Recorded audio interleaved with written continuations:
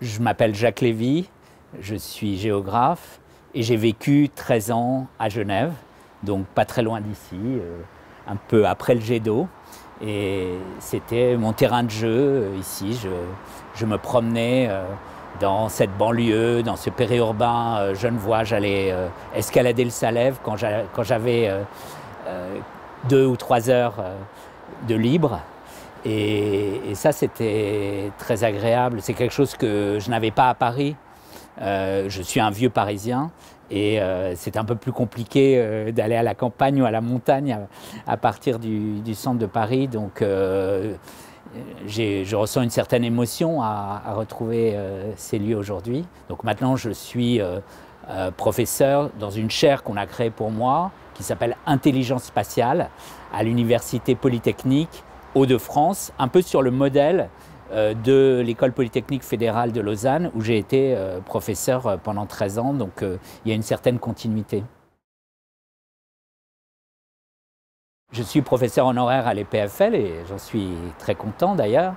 Et, c'est vrai que Coros, c'était le nom du laboratoire de l'EPFL et maintenant c'est autre chose. C'est ce que nous appelons un rhizome, c'est-à-dire un réseau très ouvert. Nous sommes maintenant une trentaine euh, de membres et, c'est très international puisqu'il y a euh, euh, des Européens, Suisses, Français, Belges, Portugais, Italiens, mais aussi euh, une brésilienne, un québécois. Et donc ça, a tendance euh, à proliférer euh, comme ça simplement parce que les, gens sont intéressés par notre démarche, qui est une démarche pas du tout institutionnelle, qui consiste à se donner le temps de réfléchir aux grandes questions sans qu'il y ait d'enjeux de carrière.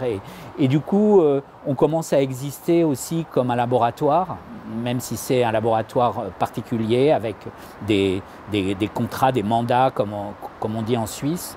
Et nous avons un manifeste euh, qui, qui, nous définit, euh, que vous pouvez trouver sur euh, le site coros.place.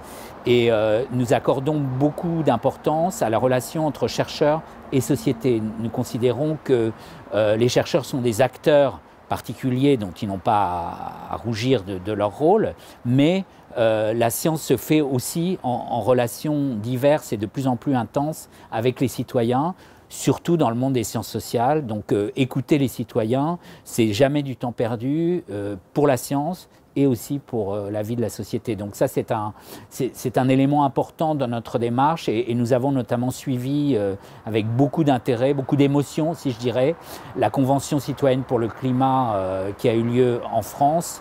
C'était impressionnant de voir comment des citoyens ordinaires tirés au sort qui n'avaient aucune compétence au départ, euh, devenait en fait très compétent, mais pas comme les hommes politiques habituels, c'est-à-dire avec une envie de résoudre des problèmes, avec une envie de s'écouter les uns les autres, et ça nous changeait franchement euh, des débats du mercredi à l'Assemblée nationale.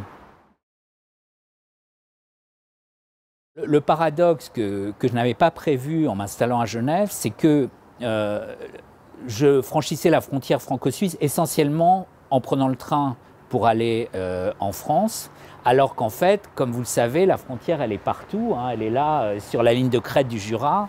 Elle est euh, tout près d'ici, euh, dans l'autre sens, et pas loin non plus du côté de l'aval du Rhône.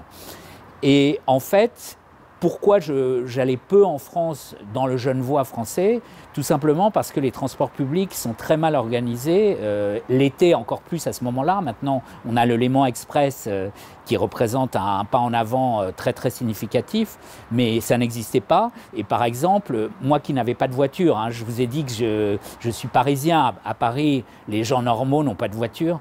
Et, donc j'avais voulu essayer d'être sans voiture aussi à Genève, ce qui était tout à fait possible en restant à, Genève, en restant dans la partie suisse. Je pouvais aller faire du ski en prenant des trains en Suisse, dans les Alpes suisses, mais en revanche, si je voulais aller dans les Alpes françaises sans voiture, c'était la galère. Donc euh, j'ai constaté qu'en fait, une partie de l'agglomération de l'aire urbaine de Genève, hein, qui fait un petit million d'habitants, elle m'était très peu accessible du fait que du côté français, les transports publics étaient euh, très très euh, peu satisfaisant. Enfin, l'offre était, était, très très faible, hein, et donc euh, ça, ça touche aussi l'ensemble de la Haute-Savoie, de l'Ain. Ça fait partie des, des, régions, enfin des, des, zones en France où il n'y a pas beaucoup de, de, développement spontané des transports publics. Peut-être que ça va changer. Euh, à Annecy, on sait qu'il y a un mouvement, euh, parce que c'est une ville qui est vraiment empoisonnée par les voitures. Donc il y a un mouvement dans le bon sens. Et, maintenant, euh, l'Aimant Express va jusqu'à Annecy. C'était très difficile d'aller à Annecy sans voiture il y a encore quelques années à Genève, alors que c'est tout près. Donc effectivement, mon expérience de la frontière proche, directe, c'était plutôt celle d'une frontière dure, difficile à franchir, sauf quand je prenais le bus pour aller au pied du Salève, et là, euh, pas de problème. Oui, alors c'est un peu une mode euh, actuellement de dire que la frontière c'est bien, un peu comme on dit euh, dans le sillage de la psychanalyse freudienne, que c'est bien qu'il y ait une loi du père qu'on va pouvoir transgresser.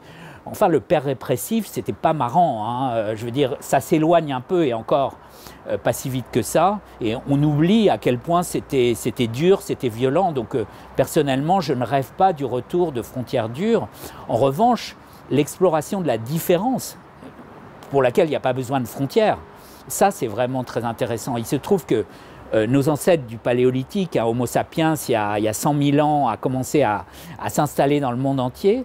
Et il a créé un patrimoine de lieux, de sociétés, euh, de cultures différentes qui sont euh, un patrimoine extraordinaire. Et, donc tant mieux que ça existe, mais que toutes les sociétés s'ouvrent à toutes les autres, d'abord parce que c'est très intéressant, c'est très émouvant, mais aussi parce que c'est nécessaire. Il y a des tas de problèmes qui sont mondiaux et nous devons rencontrer nos concitoyens euh, à l'échelle du monde. Donc euh, laissons les, concitoyens de la planète se rencontrer, discuter, réfléchir à la solution euh, des problèmes communs qu'ils ont et le monde s'en portera mieux.